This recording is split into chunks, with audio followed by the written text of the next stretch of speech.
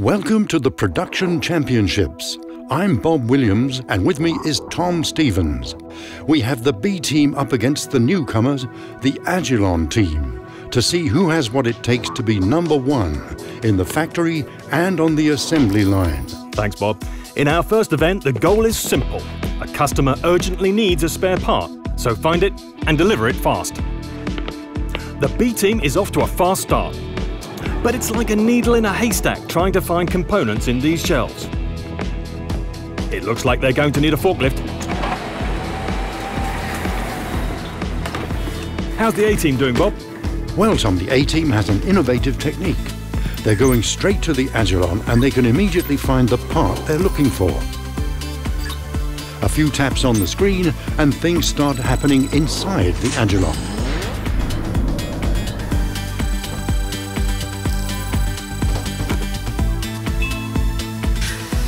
And he's got it. You really have to admire how smoothly that went. Let's watch the finish. That's the A-team, making it look easy. And they lead, it's 1-0. And now for our second event, assembling a valve. Here is the B team, printing out their bill of materials. They are working up a sweat fetching all their tools and parts from the shelves, Bob. Yes, indeed. This is a tricky one. Those tools aren't always in the cabinet when you need them. Hmm. They had a bit of luck there. Let's give Jack there a big hand for sportsmanlike conduct. Some of the parts look like they're pretty hard to find, Bob. Yes, I bet they are. That looks like the last part, so they'll have to take a timeout to order more. So let's see how the A-team is doing. Well, here again is the A-team. They have the parts and tools they need in the Agilon.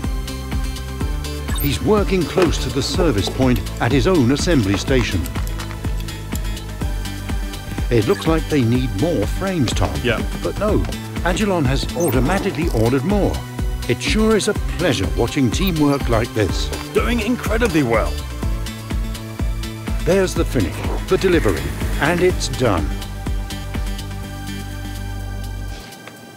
It's poetry in motion, Tom, and the A-team takes a clear lead. And now for the third and final event. The teams are introducing a new product, and they need to plan their production. The B team is working hard. This doesn't look easy. They might have to knock out a wall to make that happen. Let's see how the A team is doing. Bob? Well, there's the approach. Beautiful.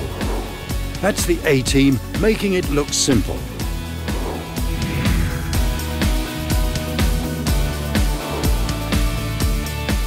It's a hat trick for the A-team. That was a brilliant performance by the Agilon team, combining speed, ingenuity, and agility. The right parts in the right place at the right time.